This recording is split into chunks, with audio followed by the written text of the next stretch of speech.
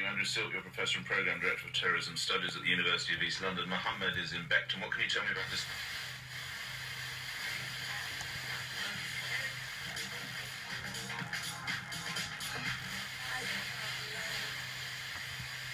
Pakistan military is uh, doing an operation in North Waziristan, and Pakistani Taliban claimed yesterday that this is a revenge attack against Pakistan military. But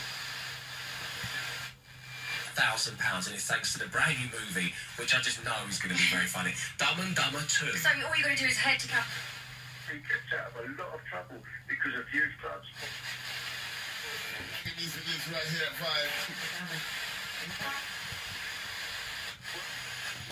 And as Dave said, it's all thanks to Dumber and Dumber 2, which is out in cinemas this Friday, so you sort it for your weekend. Now, don't forget, we're giving you a chance to cash in for Christmas. You're-